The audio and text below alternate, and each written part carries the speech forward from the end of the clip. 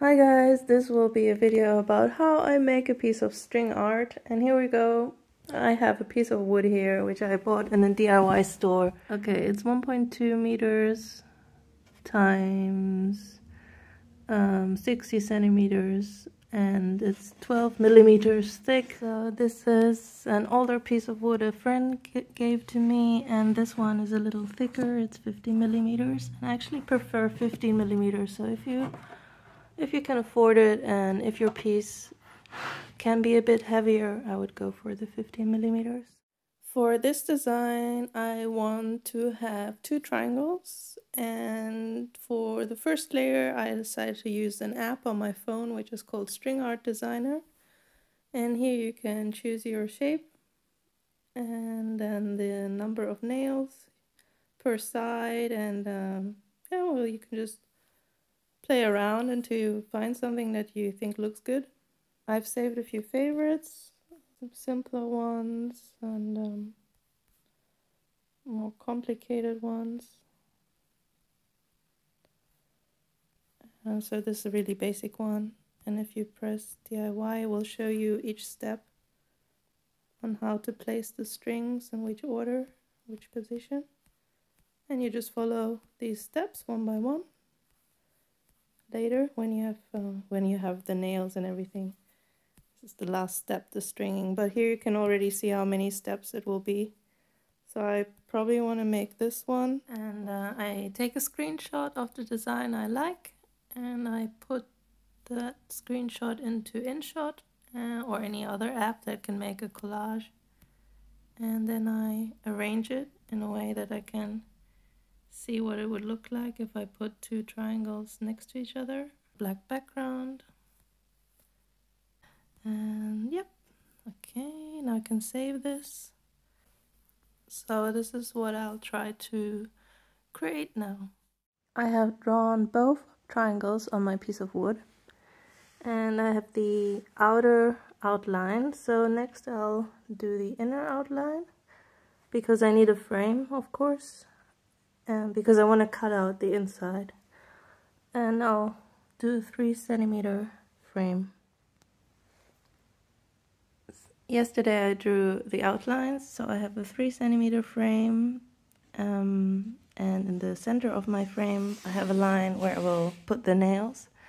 And I measured the length of this line and it's 57.2 centimeters. So I decided to um, choose a good number of nails. And what would fit best and which would be easiest to measure is um, 45 nails each 1.3 centimeters apart. And yeah so it's nice and even. So I'll have to change my initial design which I think it had 53 nails. So I'm gonna now look for something that I like with only 45 nails. Here we are back on the string art designer app so this was my original design, but I'm gonna change it. I'm gonna have a design with less nails. And let's check. Yeah, also 45 nails, but I think I'll keep playing around a little. Maybe I'll find something else that I like. Now it's time to mark the positions of the nails. I start in one corner and now I'll mark 1.3 centimeters over and over again until I get to the end and yeah then I should have 45 points per line uh, per side where I will put the nails.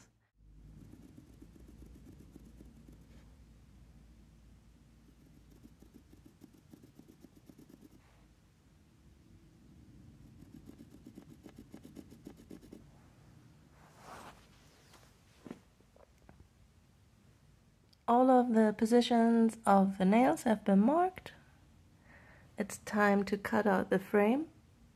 I'll be using a, a saw, a hand saw, like uh, I mean a jigsaw. It's um, it's a powered saw.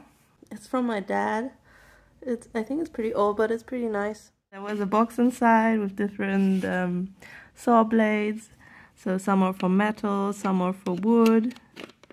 Um, I just took one out for wood, but I think I I should maybe change it. Yeah, I have to change it to to this one, I think. This is what I use to um, saw the wood. So I have this little work table, which I'll use as a sawhorse. Um, I have these two clamps, so I can um, stabilize the the wood, and then I have um, a mask for against uh, breathing in the dust, and I also have hearing protection.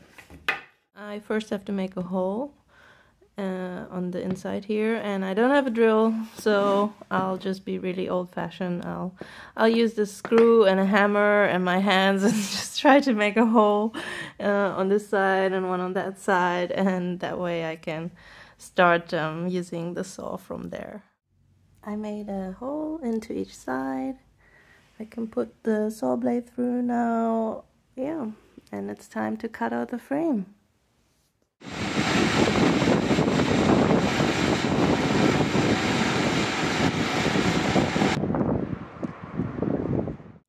I'm done with cutting out the frame. I'm really happy how it went. It looks great. And the next step will be sandpapering, just to get really smooth edges.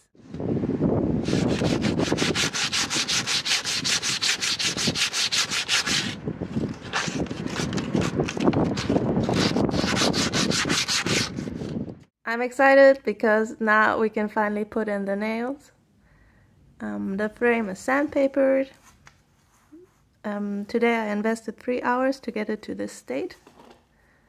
Yesterday I also invested some time on that string art app, but the design process, well, it takes anywhere between a few hours and a couple of days.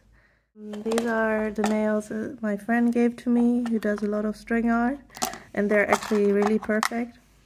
They have a oh, does it focus?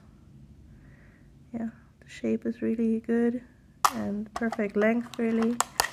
Um, so here we go. 25 millimeter length, 1.6 um, millimeter diameter. I went to the shop in the Netherlands to get exactly these again, but it didn't have them anymore, which was kind of disappointing. And then I went to a different store and I got similar ones. Um, but I don't like these because one sec I'll show you.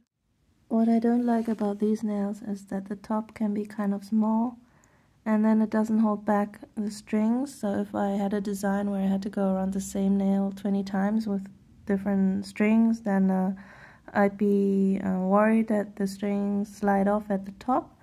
There's nothing holding them back and um, these had a really nice these had a really nice top to them. Look here. See? Do you see? Yeah. And will always secure the string better. But anyway for this design I'm only going to use each nail I don't know once or twice I, I'm not sure but uh, it will be fine. Um, so now we can put in the nails. I started in this corner already. Hope you can see this. Not easy to record all of this.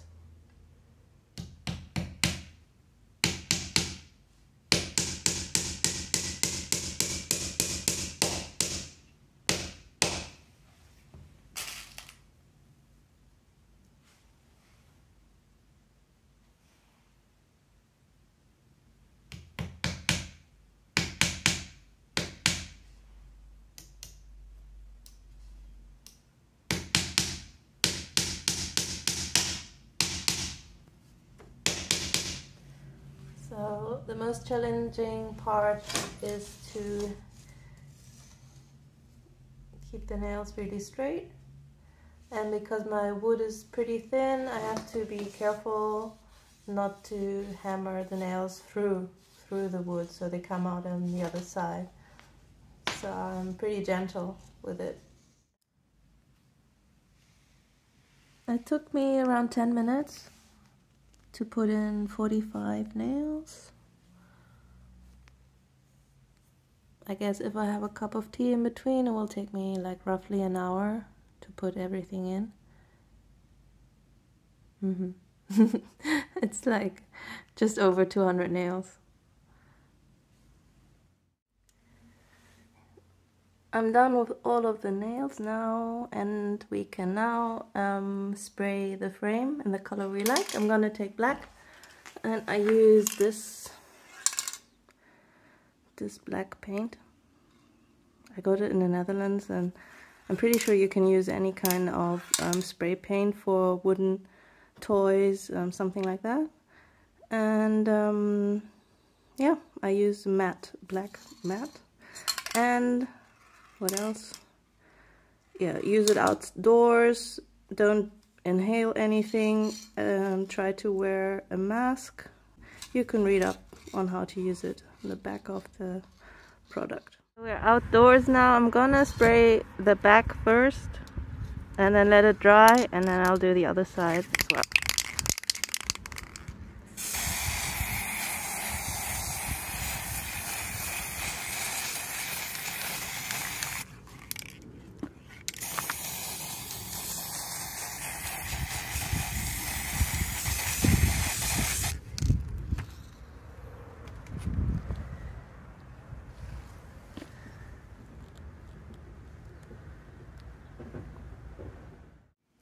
We're ready to string our pattern. I have some UV reactive wool. This is red and this is white. And yeah, I'll start with the pattern in white first and then see how it goes. Maybe add a red layer on top. So this is the wool that I use. Um, it's from Cywork. Schwarzlichtgarn. I order it in Germany. It's like 2 euro 50 per piece and I think postage is like 6 euros so I usually buy a bigger batch. This green, um, red, yellow, white and I still had leftovers from the last time I ordered it. This is uh, orange and pink. I don't use orange uh, that much, neither do and pink. Yeah, I don't know, my favorites are red, green, white and yellow so far. So this first pattern I chose is quite complicated and it takes a lot of separate strings. So I have to make a lot of knots and count the nails because I have quite a lot each side, 45. And I just keep recounting because I don't want to make a mistake. So this little bit of stringing took me 30 minutes so far. Um, I'm gonna spend quite a while on this one. We are now one and a half hours in and I have completed 32 steps of the first pattern. And that's around one third because this pattern has oh just I think it has 102 steps. Anyway I'm doing it twice like yeah at the same time. Yay, finally done with stringing the white pattern. And it took me roughly four hours. Of course, I took some breaks but it did take a long time and I still have all these little strings to cut off and uh, I might secure the knots with a little bit of glue. I have this um, textile glue and when I don't trust a knot I will put a little bit on glue, little bit of glue on there. Here comes the exciting part. Let's turn off the light. We need some black light. Nice. I like it.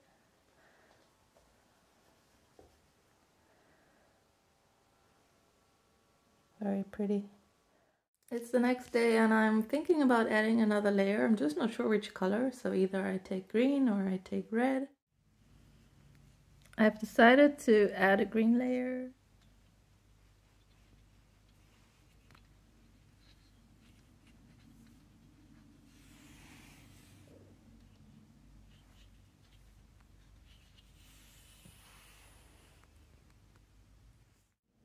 green layer is done. This is getting more and more complicated. I hope it looks good still on the black light.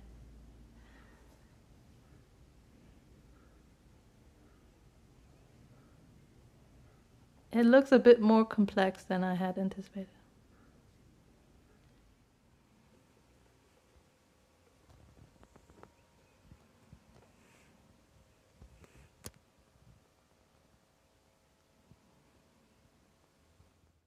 I just finished a third layer in red to add some contrast and I didn't really think that much about it. It was just like freestyle, really.